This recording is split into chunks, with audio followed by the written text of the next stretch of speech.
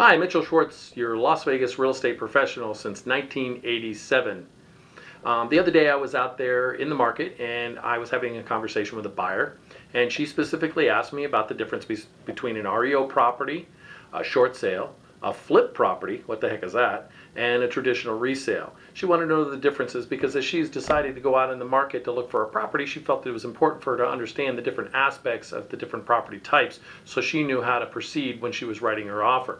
Now before I get too far into that, I wanted to let you know you shouldn't forget to go to my website. That's findahomeinhenderson.com. You can actually click on the MLS search tool, put information in about the property you're looking for. And if you haven't already done, done this, you could put in your pricing, set yourself up to receive alerts in real time. So every time there's new property on the market, it pops into your email box.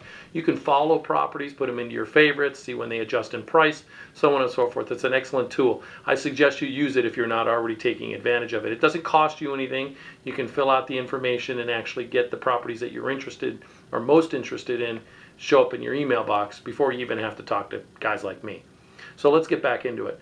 Um, what's an REO? Well, an REO stands for real estate owned. These are properties that are owned by banks or an individual who's taken them back in foreclosure. People call them repos, foreclosures. In either case, they are properties that somebody or an entity like a bank has taken the time to process the foreclosure action and actually have taken possession or ownership of the particular property. So that's what an, uh, an REO is, or a bank-owned property. A short sale is where the bank agrees to accept less than the amount that is owed to them um, to get, allow the seller to get out from underneath the property, move forward with their lives, and sell the property to the buyer at what we would consider um, at or below market value. So a short sale is just basically selling it for less than what is owed to the bank. A flip is where somebody purchased a property with the intent of making a profit. Many times people will buy property over at the courthouse steps at the time of a foreclosure auction. These investors go down there, they have lots of cash on them, they actually buy a property, say at 100000 they put $5,000 into fixing it up, maybe it needs a little bit um, new carpet, a coat of paint, and a couple of plumbing issues to be fixed.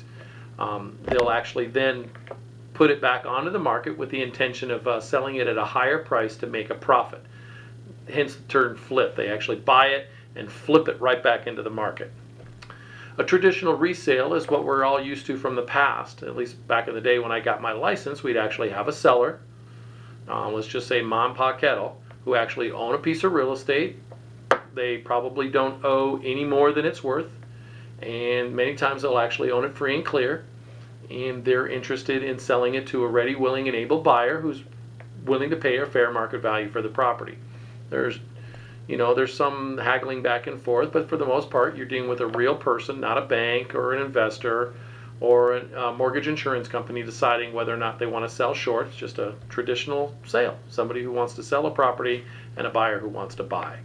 I know these were really basic explanations, but they seem to satisfy my client, and I hope that information is helpful to you too. Of course, if you have additional information or want further explanation, feel free to give me a call or you can uh, send me an email. In either case, I'm here and I'm available to you for any questions you might have about this or other items.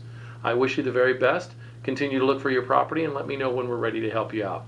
You have a wonderful day, and I look forward to talking to you soon.